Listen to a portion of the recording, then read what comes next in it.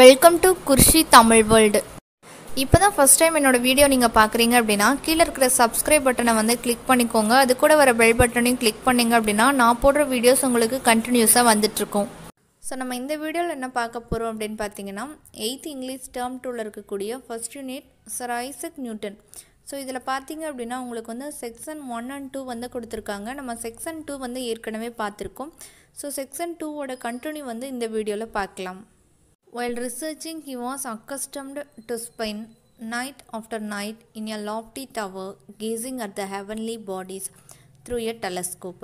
His mind was lifted far above the things of this world. He may be said indeed to have spent the greater part of his life in worlds that lie thousands and millions of miles away. For where the thoughts and the heart are, there is our true existence. So இதில் என்ன கொடுத்துருக்காங்க அப்படின்னு பார்த்தீங்கன்னா அதாவது sir Isaac Newton வந்து அவர் research பண்ணிகிட்ருக்க அந்த காலகட்டத்தில் அவர் என்ன பண்ணுவார் அப்படின்னா நைட் டைமில் எப்பயுமே வந்து ஒரு டவரில் வந்து ஏறி நின்று ஸோ ஒரு டெலஸ்கோப் வழியாக வானத்தில் இருக்கக்கூடிய நிலவு நட்சத்திரம் ஸோ இது எல்லாத்தையும் பார்க்குறது அவருக்கு ஒரு வழக்கமாக வந்து இருந்தது. ஸோ நெக்ஸ்ட்டு பார்த்தீங்க அப்படின்னா சார் ஐசக் நியூட்டன் வந்து ஸோ இந்த உலகத்தில் அவர் இருந்தாலும் ஸோ இந்த டெலஸ்கோப் வழியாக நிலவு நட்சத்திரம் ஸோ இந்த மாதிரியான விண்வெளி பற்றிய திங்கிங் தான் அதிகமாக அவருக்கு இருந்தது. ஸோ சார் ஐசக் நியூட்டன் பார்த்தீங்க அப்படின்னா ஸோ இவர் பல மைல் தூரத்துக்கு அப்பால் இருக்கக்கூடிய அந்த விண்வெளி பற்றிய திங்கிங் தான் அதிகமாக இருந்தனால ஸோ அங்கே தான் அதிக நேரம் வந்து செலவழிச்சிருக்காரு. அதுக்கப்புறம் பார்த்தீங்க அப்படின்னா ஒருவரோட எண்ணமும் சிந்தனையும் எங்கே இருக்கோ ஸோ அங்கே தான் அவர் வந்து உயிர் வாழ்ந்ததாக வந்து சொல்லப்படுது. Newton lived to be very old man ரி man, thinker and was made a member of parliament and and the honour of knighthood from the king. But he cared little for earthly fame and honors and felt no pride in the vastness of his knowledge. All that he had learned only made him feel how little he knew in comparison to what remained to be known. So next பார்த்தீங்க அப்படின்னா Newton வந்து ஒரு முதுமை காலம் வரைக்கும் அவர் வாழ்ந்திருக்காரு so அவர் ஒரு புகழ்மிக்க சிந்தனையாளர். அதுக்கப்புறம் எம்பியாக வந்து இருந்திருக்காரு.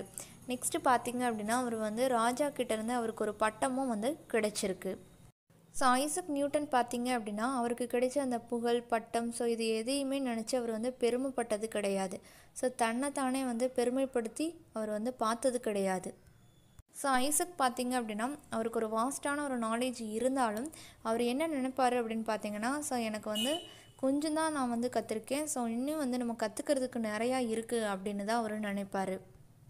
I seem to myself like a child he observed playing on the seesaw and picking up here and there a curious shell or a pretty pebble while the boundless ocean of truth lies undiscovered before me. So next பார்த்தீங்க அப்படின்னா Isaac வந்து தன்னை ஒரு சைல்டாக தான் வந்து அவர் பார்க்குறாரு. So இந்த child வந்து என்ன பண்ணும் அப்படின்னு பார்த்தீங்கன்னா கடற்கரையோரங்களில் விளையாடும். அதுக்கப்புறம் கடற்கரையில் இருக்கக்கூடிய அந்த கிளிஞ்சல் அதுக்கப்புறம் கூழாங்கற்கள். ஸோ இது எல்லாத்தையும் எடுத்து அது விளையாண்டுருக்கும். அவர் என்ன சொல்கிறாரு அப்படின்னா இந்த ஒரு பெருங்கடலில் வந்து நிறைய ஒரு கண்டுபிடிக்காத ஒரு நிறைய விஷயங்கள் வந்து எனக்கு முன்னாடி இருக்குது ஸோ அதையெல்லாம் வந்து நம்ம கண்டுபிடிக்கணும் அப்படின்னு அவர் சொல்கிறாரு At last, 1727, when he was 85 years old, Sir Isaac Newton died, or rather, he ceased to live on earth. We may be permitted to believe that he is still searching out of the infinite wisdom and goodness of the Creator, as earnestly and with even more success than while his so Isaac Newton வந்து ஆயிரத்தி எழுநூற்றி இருபத்தி ஏழில் வந்து இறந்துடுறாரு so அவருக்கு age அப்போ என்ன அப்படின்னு பார்த்தீங்கன்னா எயிட்டி ஃபைவ் நெக்ஸ்ட்டு பார்த்தீங்க அப்படின்னா இதை நம்ம எப்படி சொல்லலாம் அப்படின்னா அதாவது அவர் வந்து இந்த உலகத்தில் வாழ்கிறத வந்து ஸ்டாப் பண்ணிட்டாரு நிறுத்திட்டாரு அப்படின்னு நம்ம சொல்லலாம்.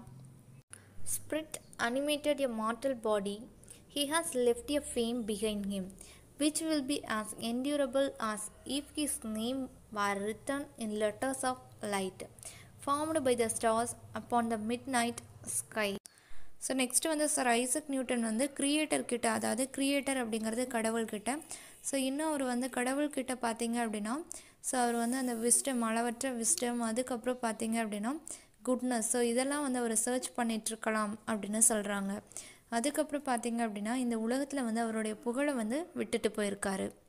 I love to hear about mechanical contrivances such as water clock and the little windmill. Remarked George, I suppose If Sir Isaac Newton had only thought of it, he might have found out the steam engine and railroads and all other farmers' inventions that have come into use since his day. Next பார்த்தீங்க அப்படின்னா sir Isaac Newton பற்றி George அப்படிங்கிறவங்க வந்து சொல்கிறாங்க என்ன அப்படின்னா sir Isaac Newton கண்டுபிடிப்புகள்லேயே எனக்கு வந்து ரொம்ப பிடிச்சது வாட்டர் கிளாக்கும் அதுக்கப்புறம் பார்த்தீங்கன்னா அந்த ஒரு சின்ன விண்மெல் வந்து எனக்கு ரொம்பவே வந்து பிடிச்சது அப்படின்னு சொல்லி ஜார்ஜ் வந்து சொல்கிறாரு ஸோ அவர் என்ன சொல்கிறாரு அப்படின்னா இன்னும் அவர் இருந்திருந்தா ஸோ இன்னும் நிறைய கண்டுபிடிப்புகள் வந்து அவர் கண்டுபிடிச்சிருப்பார். ஸோ ஸ்டீம் என்ஜின் அதுக்கப்புறம் ரெயில் ரோடு ஸோ இந்த மாதிரியான நிறைய கண்டுபிடிப்புகள் வந்து அவர் கண்டுபிடிச்சிருப்பார். அப்படின்னு சொல்லி ஜார்ஜ் வந்து சொல்கிறாரு very possibly he might replied Mister Temple and no doubt a great many people would think it more useful to manufacture steam engine then to search out the system of the universe Other great astronomers besides Newton have been endowed with mechanical genius. There was David Rittenhouse, an American. He made a perfect little water mill When he was only seven or eight years old. But this sort of ingenuity is but a mere terrible in comparison with the other talents of such man so next பார்த்தீங்க அப்படின்னா temple அப்படிங்கிறவங்க வந்து answer பண்ணுறாங்க என்ன அப்படின்னா so நிறைய மக்கள் வந்து இந்த சிஸ்டம் ஆஃப் யூனிவர்ஸ் இந்த பிரபஞ்சத்தோட அமைப்பை வந்து நம்ம தெரிஞ்சுக்கிறத விட இன்னும் வந்து உபயோகமான பொருள் அதாவது என்ன அப்படின்னு பார்த்தீங்கன்னா ஸோ ஸ்டீம் என்ஜின் மாதிரியான உபயோகமான பொருள் வந்து கண்டுபிடிச்சிருந்தா இன்னும் வந்து நமக்கு பயனுள்ளதாக இருந்திருக்கும் அப்படின்னு நினைப்பாங்க. அப்படின்னு சொல்லி டெம்பிள் வந்து சொல்கிறாரு நெக்ஸ்ட்டு பார்த்தீங்க அப்படின்னா நியூட்டன் மாதிரியே வந்து நிறைய மெக்கானிக்கல் ஜீனியஸ் வந்து இருக்காங்க. ஸோ உதாரணமாக யாரை சொல்கிறாங்க அப்படின்னா டேவிட் ரிட்டன் ஹவுஸ் ஸோ அவங்க வந்து அமெரிக்கன். ஸோ அவர் வந்து ஒரு ஏழு வயசு எட்டு வயசுலேயே பார்த்தீங்க அப்படின்னா ஒரு சின்ன வாட்டர் மில் வந்து அவர் கண்டுபிடிச்சிருக்காரு. ஸோ நெக்ஸ்ட்டு என்ன சொல்கிறாங்க அப்படின்னா அதாவது இந்த மாதிரி புதுசு புதுசாக கண்டுபிடிக்கிற அந்த திறன் உள்ளவர்கள் அந்த டேலண்ட் இருக்கிறவங்க முன்னாடி பார்த்தீங்க அப்படின்னா இந்த கண்டுபிடிப்புகள்லாம் வந்து ஒன்றுமே இல்லை. ஸோ அந்த டேலண்ட்டு தான் ரொம்பவே ஒரு பெரிய விஷயம் அப்படின்னு சொல்லி இந்த ஸ்டோரி வந்து கம்ப்ளீட் பண்ணியிருக்காங்க.